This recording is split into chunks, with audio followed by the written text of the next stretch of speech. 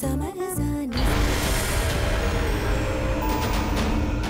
എന്നുള്ള ഈ നശിച്ച ചിന്ത വരുമ്പോ നീ എന്നെ തടഞ്ഞാ മതി. എനിക്ക് വേറൊന്നും വേണ്ട. പ്രശസ്തിയും പണവും പദവിയും ഒന്നും. പക്ഷേ എനിക്ക് വേണം. എന്റെ കണ്ണേട്ടനെ മാത്രമല്ല ജനപ്രിയ യുവതാരം ജീവേ.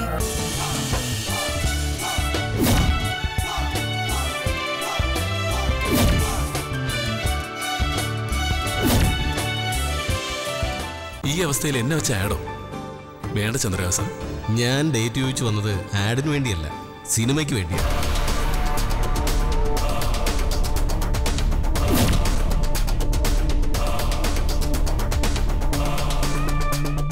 നമ്മൾ ഈ സിനിമ ചെയ്യുന്നു.